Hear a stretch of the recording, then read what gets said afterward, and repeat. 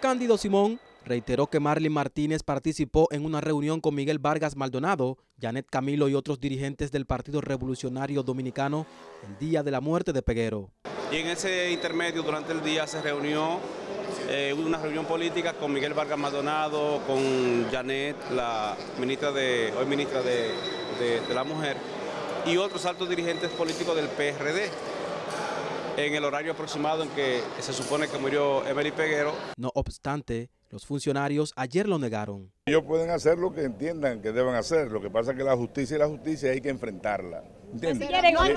En, en, ese sentido, en ese sentido yo lo que quiero reiterar es nuestra posición de que esas declaraciones son totalmente falsas y que nosotros teníamos que no veíamos a esa dirigente más de cuatro meses previo a ese acontecimiento lamentable. Yo nunca estuve reunida con ella ese día.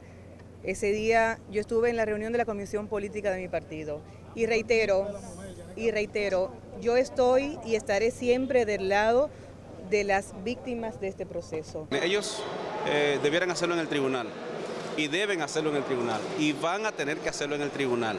Porque cuando un testigo, no importa la categoría que tenga, o con el poder que se sienta o se presienta, se le cita a un tribunal y no comparece, hay consecuencias jurídicas. Simón dijo que con la presencia de los dirigentes políticos busca desmontar la tesis del Ministerio Público, el cual acusa a Martínez de autora de los hechos.